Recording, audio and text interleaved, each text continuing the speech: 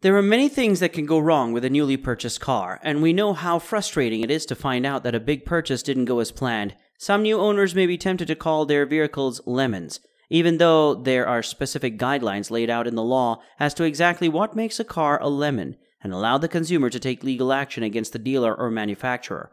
Join us in today's video to find out the circumstances when we can and can't claim a lemon. Hello and welcome to our channel Lemon Law Assist. We help people with lemon cars and tell them their rights as a consumer. So without any further ado, let's get started. Is my car a lemon? Any new car with multiple problems could warrant the question, is my car a lemon? It doesn't matter where you bought or leased the car from or how much you paid for it.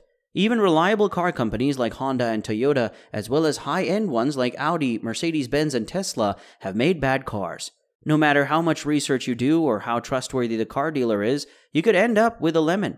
Statistically, about 1% of all new cars are considered lemons every year. That's more than 176,000 cars and trucks all over the country that look great when you bring them home, but quickly start to break down. Now let's talk about some common points and circumstances you should know before filing a lemon law claim. Firstly, nature of the defect. The type of issue your car is having will mainly determine whether or not it's considered a lemon. For example, if the door handle falls off or the heating system only puts out lukewarm air, but the car still works fine and doesn't pose any safety risks, it's probably not a lemon. But if your transmission or engine isn't working right or your brakes don't work right, it's more likely to be a big problem. If you tried repeatedly to fix the vehicle with no luck, you may find yourself wondering, is my car a lemon? And the answer very well could be yes. Number two, warranty. Also, in order of the vehicle to be seriously defective, the defect must have appeared within the express warranty period. The Lemon Law requires all vehicles to have express warranty of at least 12 months or 12,000 miles. If the express warranty period is longer than 24 months or 24,000 miles, the consumer's right to a replacement or refund is limited to defects that occurred within the first 24 months or 24,000 miles. For warranty defects which occur after within the warranty period, but after the Lemon Law's 24 month, 24,000 mile limitation, the consumer would have to seek compensation for failure to repair if the vehicle is not repaired after a reasonable number of attempts. Number 3. Number of attempts. In order for the Lemon Law to apply, the buyer must have contacted the manufacturer directly at least once about the problem and it is the manufacturer or the manufacturer's agents that must be allowed a reasonable number of attempts to fix the problem before the car is declared a lemon. In other words, if the buyer notices a problem and tries to get it fixed at an independent car shop, this may not help his lemon law case. Again, the buyer must talk to the maker directly, and the maker must be allowed to try to fix the problem if they want to. But if the problem was fixed on the first, second, or third try, you can't say it's a lemon. What does a lemon car look like? Well, guys, lemon cars usually don't have any dents, scratches, or rust on the outside, so they look normal. They're unsuspecting. But if a mechanic looks under the hood, they could find a number of problems that were not visible.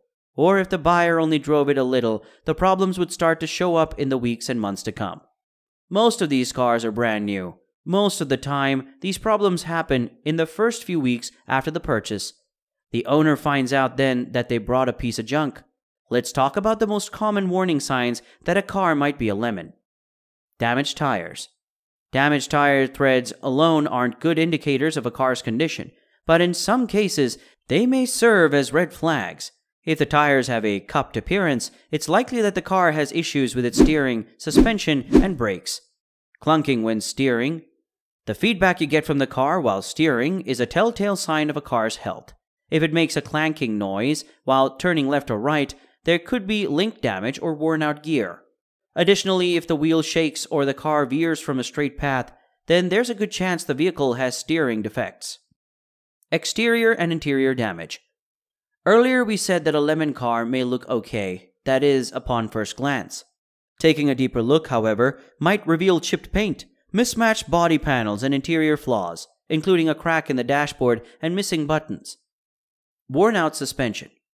A damaged suspension shows in various ways. Common signs are hard rebounds after pushing on the fender, and heavy bouncing while moving at a normal or even slow speed. Tailpipe spews fumes. If the tailpipe of the car starts to spew out fumes or anything unusual, then something's up. Excuse my pun. Billowing white smoke could be an indirect sign of a blown gasket or a damaged cylinder head, while blue smoke indicates burning oil. All of these issues are expensive to fix. Engine revs with light acceleration. The sound of an engine revving can be quite pleasing to the ear, but if a light tap of the gas revs the engine too much, then that could be a sign of trouble. Generally, it stems from a clutch that's unadjusted, worn out, or from a damaged automatic transmission. A clutch that needs readjusting isn't too expensive, but if it's completely worn out, then the driver will have to cough up some serious dollars. The same goes for an automatic transmission that's damaged. Guys, don't ever think that a lemon car is something that can be fixed. You would be better off buying a whole new car with the money you'll have to spend on repairs. There are a lot of stories about people who spent a lot of money and time on a car that was too damaged to drive. Don't put yourself through that. Find out how to check a car and what you need to do to make sure it's safe to drive. By making the effort, you can be sure that you and your family will be driving the best car possible. You can also hire a lawyer with a lot of experience. Get in touch with our lemon law experts today. We have skilled and aggressive lemon law attorneys who can help you figure out if your car is covered.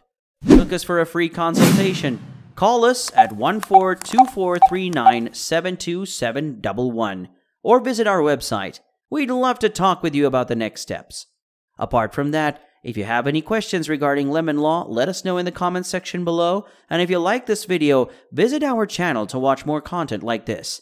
Make sure to support us by subscribing and turning on notifications. See you next time. Goodbye.